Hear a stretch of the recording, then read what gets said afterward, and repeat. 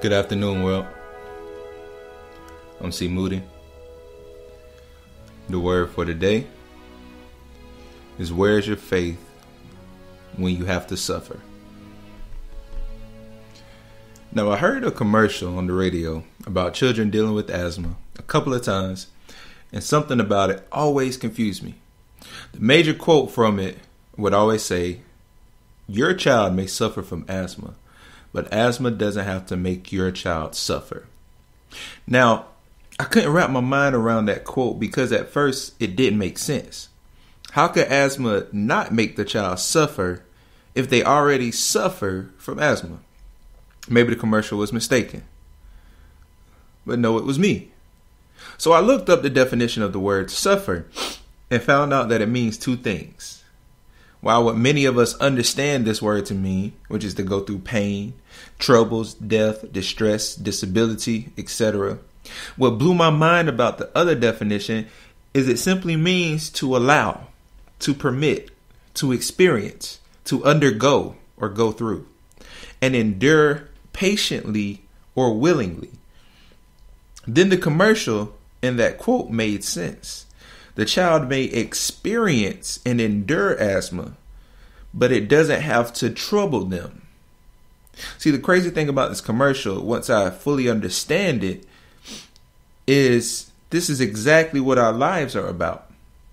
This actually defines life. Now, let me rearrange this quote.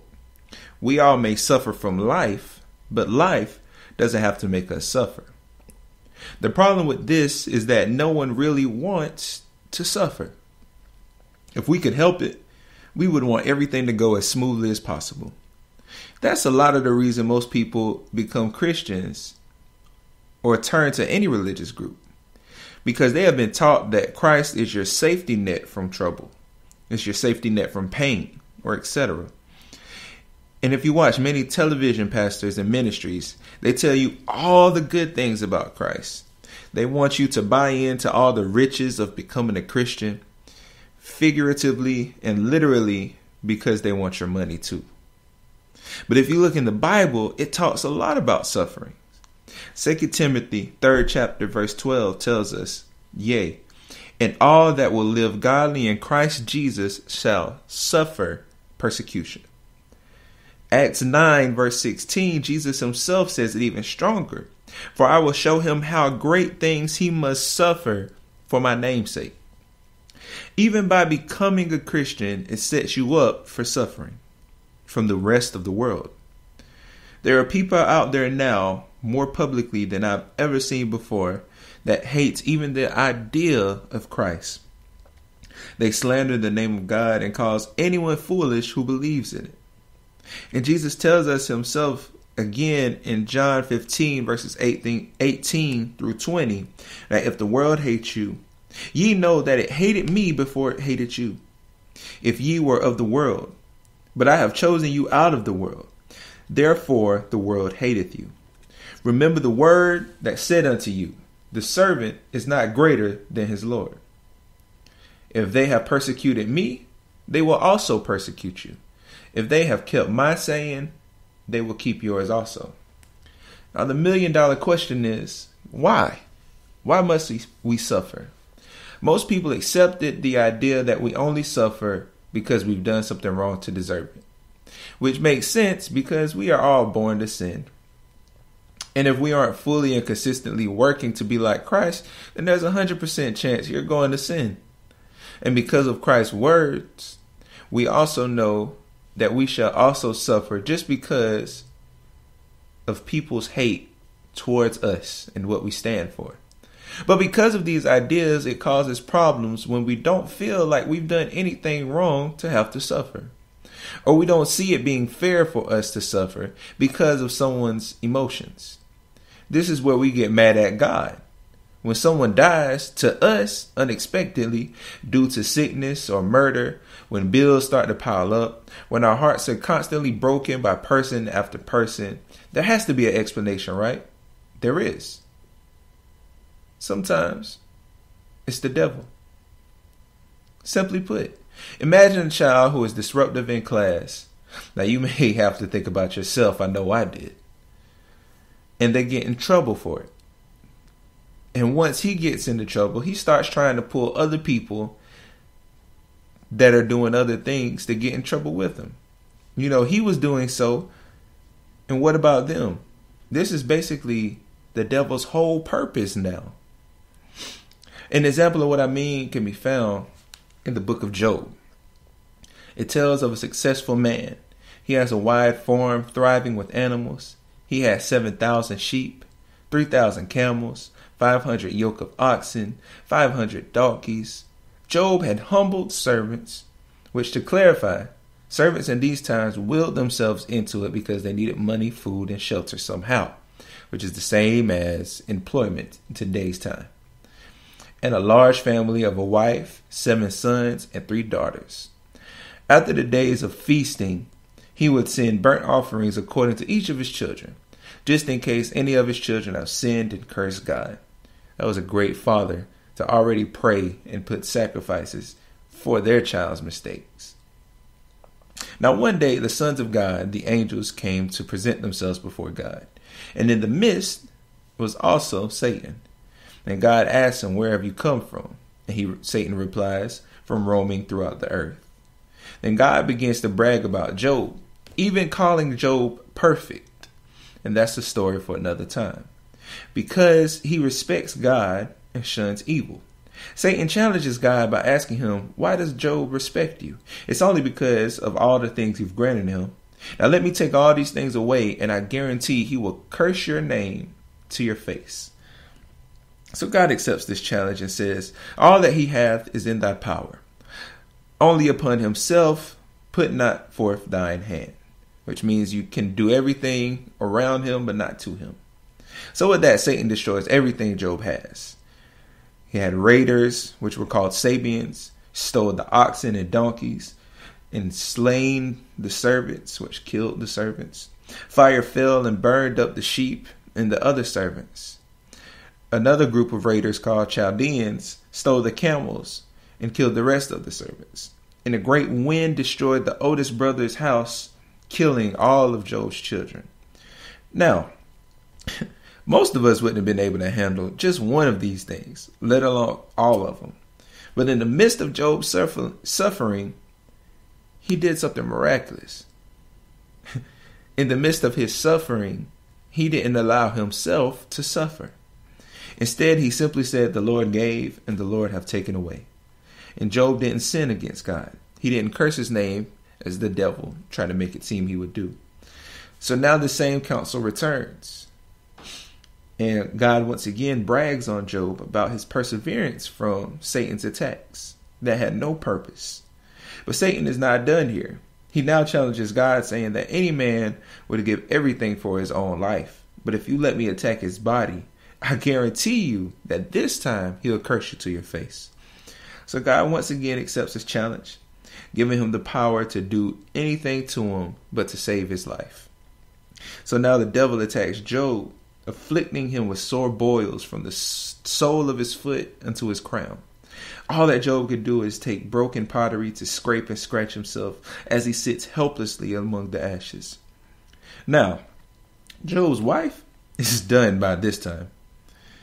If you read verses 9 and 10 in the second chapter of Job, it tells you that his wife said unto him, Doeth thou still retain thine integrity?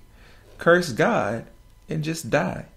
Now, Job's wife has seemed to have grown angry with him because he didn't act like he was suffering.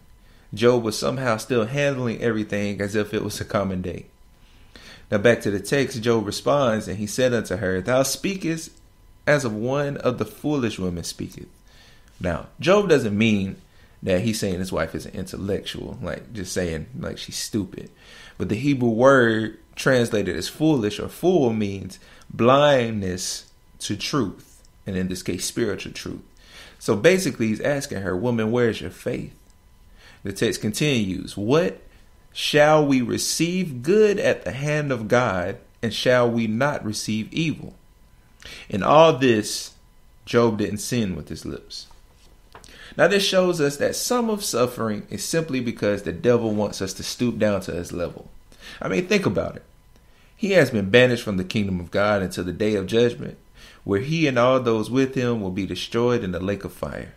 So, as the old saying goes, misery loves company. The devil is on a mission to show God that we are just as evil, just as untrustworthy, and ungrateful as he was while he dwelled in heaven. So the devil may take some things away from us, but only by God's permission. But why would God permit this? My opinion, God wants to trust us. If we can allow ourselves to turn from God by these little temporary things of earth, He doesn't want us in His kingdom. If we can get so swayed to turn away from God from all these things that are temporary, why would He want us to dwell in something eternal? So, my message is to say you have to suffer. So, is that it? We just go through things because either we've done something bad to receive consequences, people hate us, or because simply put, Satan is trying to get us to be cast out like him. What good does that do for us? And honestly, it actually does us a world of good when we prevail from the suffering.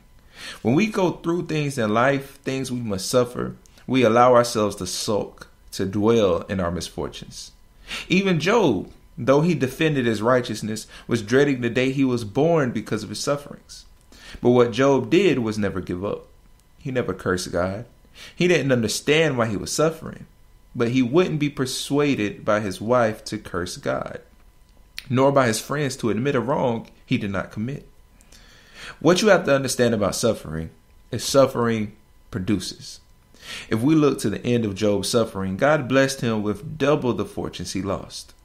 God gave him 14,000 sheep, 6,000 camels, and a thousand yoke of oxen, and a thousand donkeys. Finally, God gave him seven sons and three daughters.